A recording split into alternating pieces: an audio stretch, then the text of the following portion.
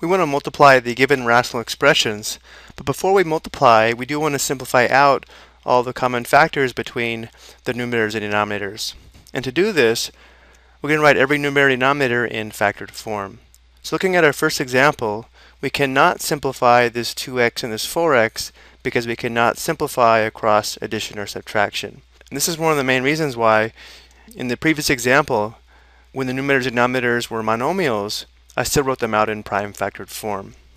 So for this first example, we're going to write 2x as 2 times x, 5 is prime. The prime factorization of 15 would be 3 times 5. And then to factor 4x minus 6, remember the first step in factoring is to factor out the greatest common factor.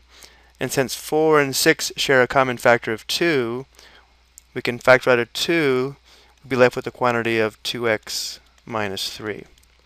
Now that everything's in factored form, we can now simplify out the common factors. 2 over 2 would simplify to 1 because 2 divided by 2 is equal to 1. Here we have a 5 over a 5 that simplifies to 1. And again, we cannot simplify this x and this x because we cannot simplify across subtraction. So now we can multiply knowing the product will be in simplest form. The numerator would be x times 3 or 3x and the denominator is just the quantity 2x minus 3. And again, while it may be tempting to try to simplify something else here, we cannot because of the subtraction. Let's take a look at another example. So I think it's important to remember to never simplify until everything is in factored form. Looking at the second example, 2 is a prime number, x plus 1 does not factor, but I'm going to go ahead and put it in parentheses times for x squared plus x, again the greatest common factor between these two terms is x, so we'll factor an x out, leaving us with x plus 1. And then for our denominator we have 5x plus 10. These two terms have a common factor of 5, so we'll factor a 5 out. We're left with the quantity x plus 2. Again, now that it's in factored form, we can try to simplify.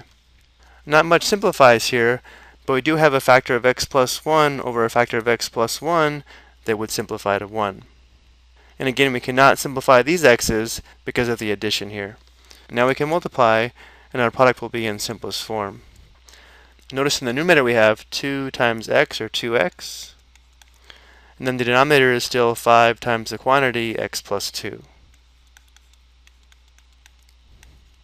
And there's no reason to multiply this out again, we normally leave our products in factored form.